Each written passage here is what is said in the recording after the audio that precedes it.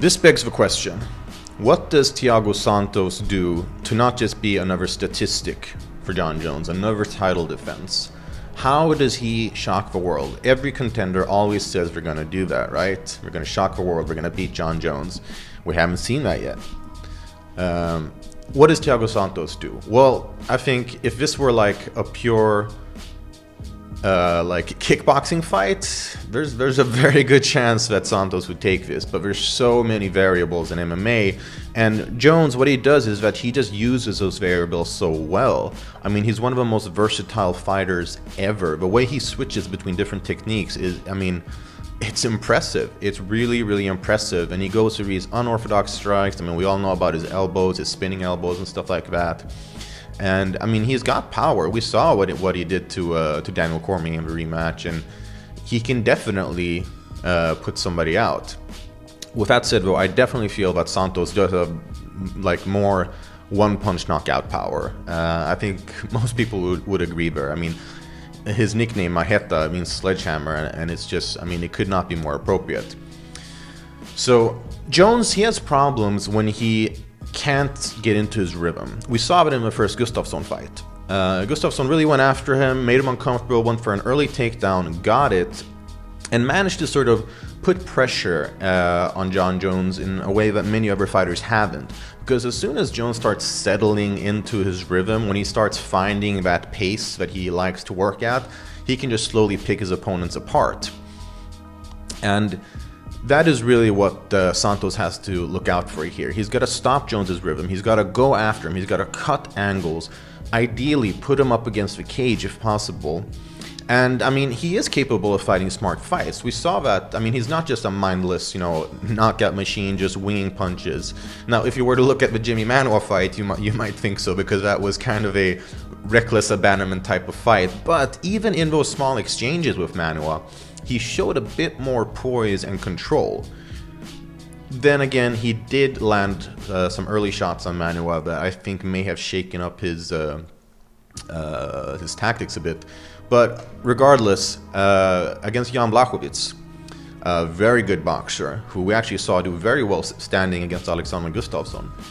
Uh, but there he had a measured approach. He kind of he wasn't passive, but he just was not as aggressive as I think Blachowicz expected him to be, which kind of frustrated Blachowicz, forced him to sort of overcommit and get a little bit more aggressive than he otherwise would have, and what happened, Santos countered and knocked him out.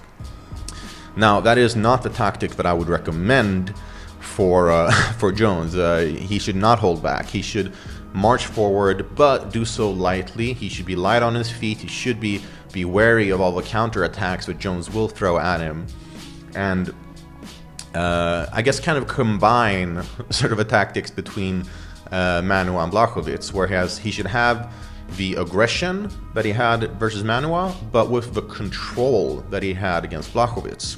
So that it's not reckless shots, that he doesn't leave himself open for counters.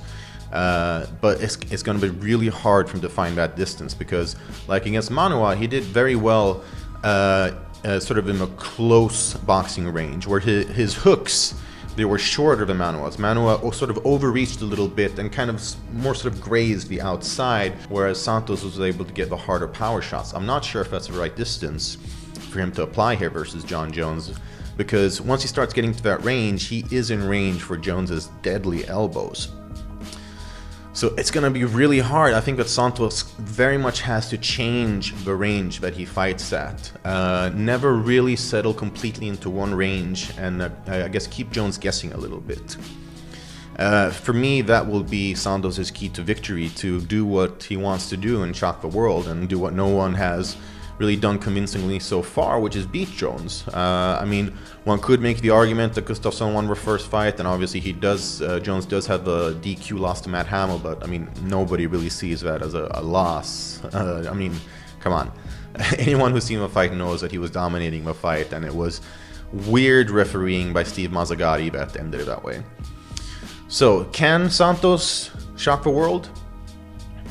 Can, yes. Will he? Probably not. Uh, I mean, I've just laid out what he needs to do to win, but I feel like Jones is one of those, you know, one of those special fighters where you can have the best game plan. You you can you can even be ahead on the scorecards, but he will find a way, like he did in the first Gustafsson fight. I mean, had he not landed that elbow in the fourth, it could have been a very different fight. But he finds a way to do that, and um, I kind of think he's gonna do that here too. I think that. Santos may threaten. Uh, he might even rock Jones a little bit, but I just think that Jones will be able to sort of recover and uh, and slowly but surely start finding his rhythm. Uh, Santos's best chances are in the first two rounds, is the way that I see it.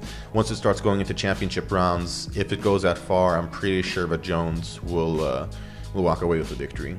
But yeah, if Santos is gonna do it, that's how.